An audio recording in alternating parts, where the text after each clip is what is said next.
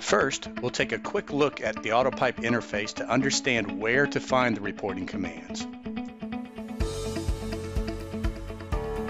Then we'll dive into AutoPipe's quick text reports that you may already be familiar with.